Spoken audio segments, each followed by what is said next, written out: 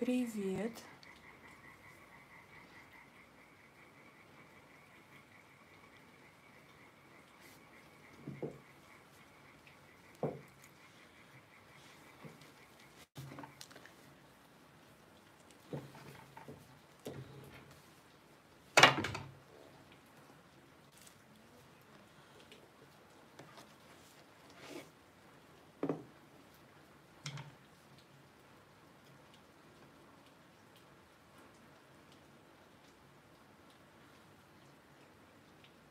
Так. Подождем, пока присоединятся. Так, вот сделаем, чтобы покрасивее было.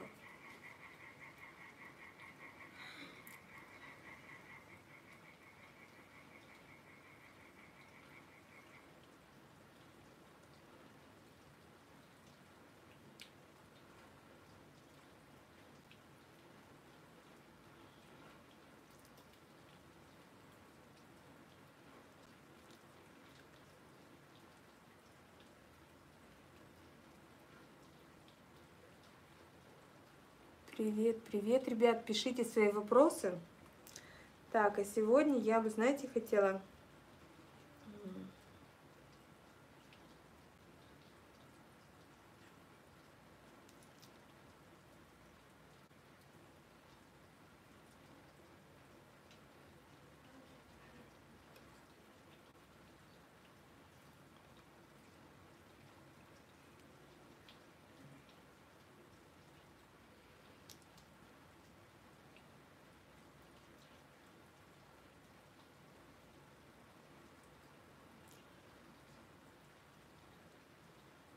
Давайте сегодня поговорим, если у вас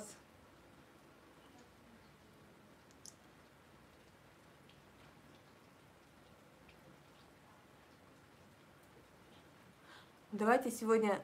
а, Привет. Давайте сегодня поговорим, почему человек стремится к совершенству. Я не знаю, насколько он может вообще куда-то тему писать. Вот я не вижу, есть ли такая функция вообще, чтобы написать тему. Вот у меня есть поделиться. М.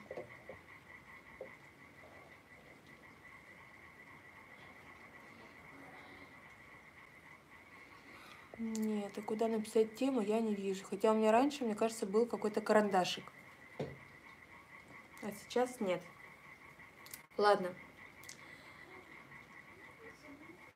Ребят, еще раз хочу напомнить, что 26 числа в Сочи будет абсолютно безоплатная встреча, свободный вход а, на улице Горького, 62. Это недалеко от вокзала.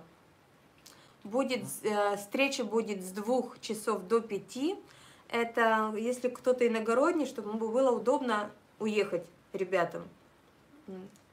И мы там поговорим на те вопросы, которые вам будут, будет приятно задать, на которые вы хотите получить ответ, на которые я не могу дать ответ, например, в прямом эфире, вы можете их задать, ли- либо это, если что-то касается лично вас, вот, то приходите, если есть такая возможность, если вы где-то живете недалеко, но ребята уже, в принципе, некоторые даже покупают билеты из других городов. Вот. Насколько часто будут проходить такие встречи, я пока не могу сказать, потому что я, мне бы очень хотелось открытые встречи делать безоплатными. Это мое желание. Мне, мне было так приятно, чтобы вы вот таким образом познакомились со мной. Увидели меня вживую, я вас увидела вживую. Насколько это актуально, насколько это возможно с финансовой точки зрения для меня, ну, пока, пока вот так. Как часто это будет продолжаться, я пока не могу сказать, ребят, ну что тоже задавали такой вопрос. Поэтому приходите, буду рада вас видеть 26 мая в городе Сочи. Вот. А, а сегодня поговорим на такую тему, почему человек стремится к совершенству. А, и большинство наших а, амбиций питает префронтальная кора. Что такое совершенство? Совершенство, почему человек вообще стремится к совершенству? Человек стремится к совершенству на самом деле не для того, чтобы быть идеальным, а для того, чтобы скрыть себя. Потому что не научили, мы не умеем, мы не умеем себя видеть, себя слышать, себя знать, кто я есть, для кого нужно все вот это разнообразие, разнообразие всего в нашей жизни – мы не можем этого понять, мы не знаем, кто я есть. И когда ты не знаешь, кто ты есть, ты стремишься к тому, что а, социум продвигает как эталон. И социум очень часто продвигает эталонные моменты, такие, которые не останавливаются на чем-то одном, а именно постоянно меняя, а, как э, фиксируя определенные эпохи. Все мы с вами знаем, помним, видели фотографии наших бабушек, фотографии наших мам, и не, не раз смеялись над ними, да, ой, какая у тебя одежда, ой, какие у вас были там, какая, какая обувь была в моде, какие очки, какие сумки, какие платья, там, и ты-ты-ты-ты-ты-ты. И нам это было смешно. Но для них это было даже не столько актуально, сколько они в этом себя считали красивыми. И я помню те моменты, когда, я не помню, сколько мне было, и мы смотрели какой-то зарубежный фильм на видеокассетах, и там был один из героев в очках авиаторах. Все знают, да, очки авиатора это как капельки. Э, один из героев был в очках авиаторов. И у них на тот, на тот момент, когда снимался этот фильм, тогда для них это было модно.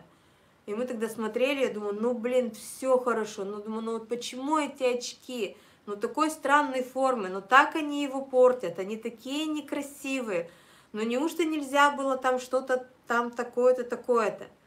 А потом через сколько-то лет входят в моду очки-авиаторы у нас, в России. И что в этих очках? Там в них ходили практически все. И это было модно. И это было помимо того, что модно, было это красиво.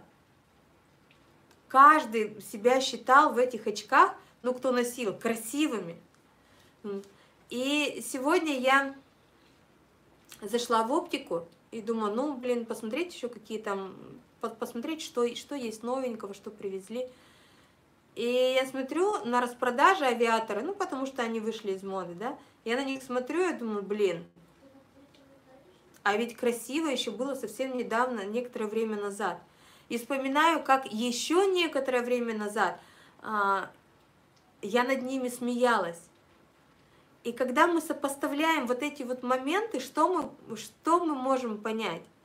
Почему мы э, себя очень часто не знаем, кто я есть? Не знаем, просто. Э, не потому что не хочется познакомиться с самим собой, а потому что нам специально э, как бы в обход нас самих закрывают нам мозговую деятельность нашего мозга вот таким моментом. То есть что такое наш мозг? Что такое наши нейронные связи, нейронные, нейронные сети? Это как раз то, когда мы раз за разом, делая какие-то действия, а, фиксируем свои нейронные связи, и при фиксации своих нейронных связей, своих нейронных сетей, вот, этой, вот этой всей голограммой в, наш, в нашей черепушке, мы протаптываем новую дорожку, и после того, как мы протаптываем новую дорожку, мы можем новый навык в себе открывать мы можем открывать новый, новый, новый. И когда мы открываем несколько навыков, когда они пересекаются, у нас вот это вот при пересечении образуется такая вспышка. И ученые об этом знают. И эта вспышка, она так вот, вот этих вот пересечения нейронных сетей, вот, это, вот эта вспышка, она нас относит в родовую память. В родовую память. Это то, что мы уже знали. То, что для нас не является каким-то э, каким-то чудом. Знание, а родовая память, знания глубинные, глубинные самого себя, глубинные своей планеты, глубинные а, Вселенной. И что происходит? Чтобы не было вот этого запоминания, чтобы у нас не все время ломалась эта нейронная, нейронная связь, когда она все время меняется, у нас префронтальная кора, она постоянно, а, знаете, как э, в советских фильмах, а, когда когда какие-то технические работы, помните вот это вот синее пи, вот квадратиками разноцветными, у нас происходит то же самое в нашей голове. У нас префронтальная кора, она не может присоединить к себе определенные токи, которые а, которые открывают вот это потоковое состояние. И чтобы вот эта префронтальная кора постоянно была э, в состоянии пустоты, в состоянии того, что она ловит вновь и вновь новые токены, э, у нас определенные люди меняют, меняют моду, меняют какие-то пристрастия, меняют, а, меняют все, что вокруг нас происходит. И очень часто люди, не осознавая этого, подвергаются какой-то моде, подвергаются каким-то новым, новым увлечениям. И я сейчас смотрю на... Сегодня ждала пока сына из музыкальной школы, я смотрю, идут девчонки молодюсенькие, и у них вот такой вот слой как косметики. Там тональный крем, а, на тональный там сейчас всякие вот эти вот консилеры, там я не знаю, правда, ребят, как они все называются. Я даже краситься не умею. И я смотрю и думаю, это как нужно было вбить а, человечеству в голову, что нужно замазать самое прекрасное, что есть в этом мире. Юность, молодость, она же прекрасна сама по себе. Она, э, это же свежесть, это, это то сияние, которое у тебя идет э, изнутри, из состояния твоей, твоей чистоты. И когда мы идем вот в, в притирку э, социальными какими-то догмами, мы очень часто не знаем себя, кто я есть, а что я люблю, а как я выгляжу, а как, как я м, люблю говорить, а с кем я люблю говорить, а люблю ли я быть в компании, или мне нравится дома читать книги, и вот эти все моменты, они, они уходят на второй план. Уходят на второй план, и чтобы себя как-то проявлять, как-то вынести э, в мир, если ты себя не знаешь, кто я есть, как себя вынести в мир, ты начинаешь себя собирать через пазлы другого. Вот сказали, что вот так вот красиво, сказали, что вот так вот модно, сказали, что вот это, это. И это касается не только молодежи. Это касается и абсолютно любого возраста. И ты начинаешь себя выносить в мир тем, кем ты не являешься, что тебе неудобно, что тебе некомфортно, а, преподнося себе, что это действительно мое, это мне нравится.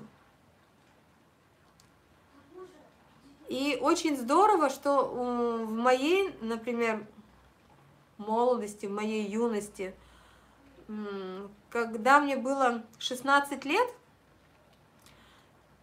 у меня все подружки уже ходили с женихами.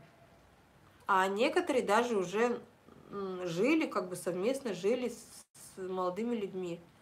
И я тогда, помню, подошла к маме, говорю, мам, говорю, ну вот почему так? Вот у меня, говорю, все подружки вот так вот, а я еще в куклы играю. А я прям в куклы играла. Хотя я была такой пацанкой, меня там во всех компаниях любили, но это, это я как бы пряталась вот за эту себя, я пряталась, потому что я понимала, что все они такие уже взрослые, а я приходила домой, читала книжки, играла в куклы. Мне тогда мама сказала одну простую фразу. Она говорит, дочь, пока играется, вот просто играй, вот поверь мне. Вот. И, конечно же, они потом отпали, все это было. Но это из, то, э, из той серии, что когда с подобным вопросом подошла моя подруга, и ей мама начала рассказывать, как правильно краситься, как правильно там что-то что, -то, делать. И она говорит, тебе уже пора взрослеть, вот ты, ты, ты, ты, ты. И вот все вот, э, вот в таком ракурсе, э, чтобы как бы выпихнуть ее в мир туда. Сейчас, ребят, почитаю ваши вопросы. Я их вижу. Я сейчас вот так вот сделаю, так будет удобнее.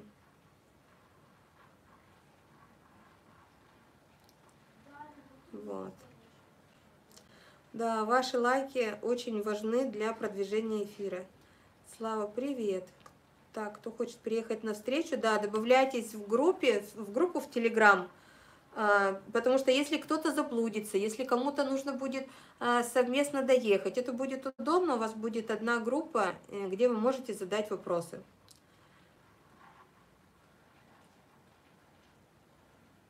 Мы пытаемся соответствовать обществу, принимая их поведение. Ну, да, конечно. Конечно, и поведение в том числе не, не без этого.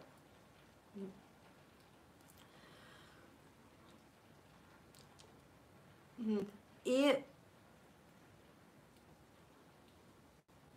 уходя вот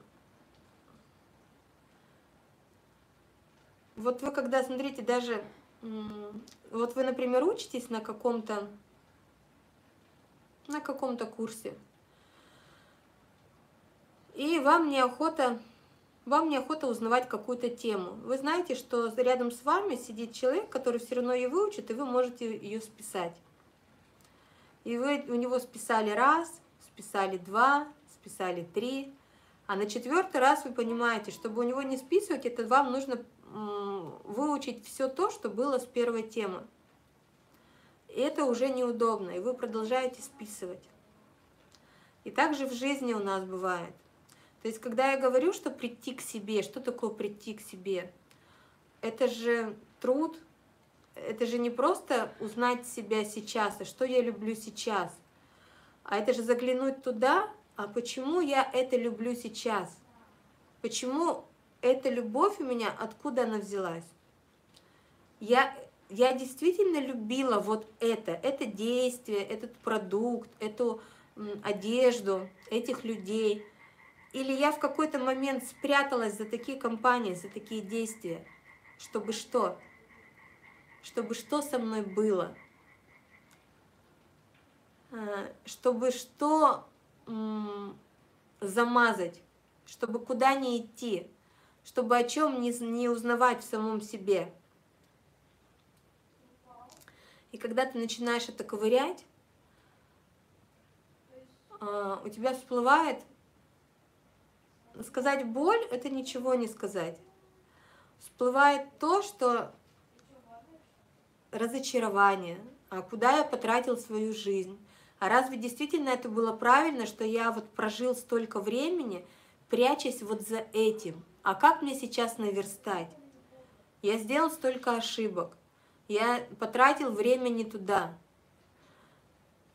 Но когда вы понимаете, что это все не ошибки, у вас не бывает ошибок, у вас не бывает потраченного времени. У вас бывает только опыт, новый и новый опыт. Каждый раз новый опыт. Каждый момент времени вы делаете максимум того, кем вы являетесь в данный момент времени. И если вы через минуту считаете себя глупцом, что почему я так сказал, почему я так сделал, я же мог больше. Вы в тот момент не могли больше, но если вы это осознали, значит вы уже сейчас выросли. И вы должны гордиться собой сейчас и гордиться тем, кем вы были еще минуту назад. Потому что если бы вы не были тем минуту назад, вы бы не смогли себя интерпретировать, как здесь и сейчас, какой вы стали сейчас. Что с вами произошло. И только благодаря тому, той интерпретации, что было еще некоторое время назад, вы каждый раз укрепляетесь, вы каждый раз становитесь все сильнее, вы каждый раз становитесь все плотнее для самого себя. И тогда вы понимаете, что идеал идеальный а, аватар, эталонный аватар. Это всего лишь маска того, кто создал вот это все для того, чтобы вы шли туда, а не к себе. И вы можете поблагодарить того человека, кто это создал, что у вас было направление, куда идти. Но в первую очередь вы должны поблагодарить себя, что вы поняли, куда вам сейчас идти. Что вы и есть эталонный аватар для самого себя. Вы и есть эталон этого человека для самого себя сейчас. Лучше, чем вас для себя, у вас нет. Никогда не было, никогда не будет. И если вам что-то в себе не нравится, вы просто идите к новому себе, не игнорируя старое не ругая себя за то, что ты сделал что-то не так, что ты не такой, ты худой, толстый, старый, слепой, глухой, некрасивый, красивый, прыщавый, лысый, лохматый, вообще не важно. Только видя, истинно видя, без прикрас, какой ты есть сейчас, только за счет этого ты можешь себя изменить завтрашнего – и это самое прекрасное.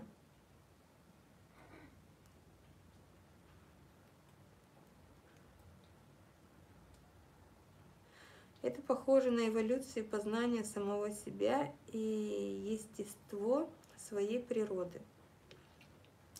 А мы всегда эволюционируем. Каждую минуту, каждое мгновение нашего времени – это и есть наша эволюция. Наша эволюция самого себя – но она происходит только тогда, когда мы тотально увидим, кто я есть сейчас, что я умею чувствовать сейчас, как я могу ощущать сейчас, как я выгляжу сейчас, насколько я для себя удобный в этом теле, насколько для себя уютный в этом теле. Если ты понимаешь, что тебе нужно что-то изменить, то ты это можешь понять только после того, как ты почувствовал, кто ты есть. А если ты не знал себя, кто я есть, и шел все время к какому-то эталону, ты никогда не можешь дойти до этого эталона, потому что эталон это всегда чужой, это никогда не ты. А во-вторых, ты не знаешь, а кто идет к этому эталону, если ты себя сейчас не знаешь. Ты просто видишь, что ты не соответствуешь этому эталону но не соответствуешь ты почему? Что прячется за твое несоответствие? Где есть то несоответствие, которое есть внутри тебя, которое ты скрываешь за этим несоответствием? И когда ты это все выводишь, э, выводишь наружу, после этого ты можешь найти себя, увидеть себя, насколько ты прекрасен за счет того, что ты можешь увидеть себя завтрашнего – Потому что только тот, кто есть, может увидеть себя завтрашнего. Не чужой эталон, а себя. Чужой эталон, ты просто его думаешь, что ты видишь. Потому что ты не можешь увидеть тем, кого не существует. Ты же себя-то не увидел. А после видения себя ты можешь увидеть и другого, другого себя, эталонного.